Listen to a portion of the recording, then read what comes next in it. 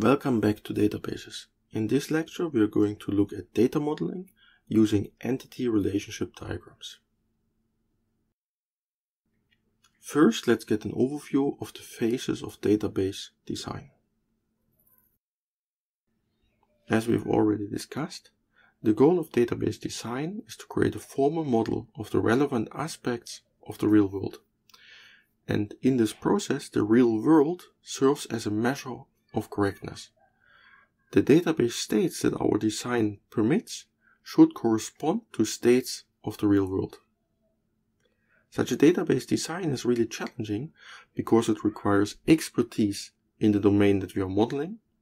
It requires flexibility in the design because the real world often allows for exceptional cases and these should also be captured in our design. And finally, these designs can get very large, so the pure size makes it also challenging. Due to the complexity, the database design is a multi-step process. The first phase is the conceptual database design.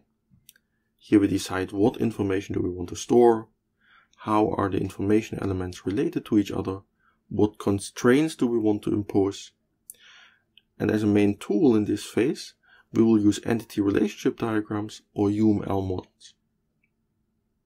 The next step is the logical database design.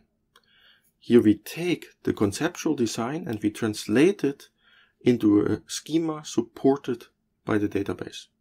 In our case, this will be the relational model.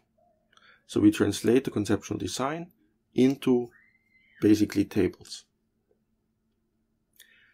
The next step of the design is the physical database design. Here we optimize indices, decide on table distributions, buffer sizes, disk layout, and so on. The goal of this step is to maximize the performance of the final system. In this course, we will be looking at the first two steps of database design, and we will leave the third step of the physical design to the database management system.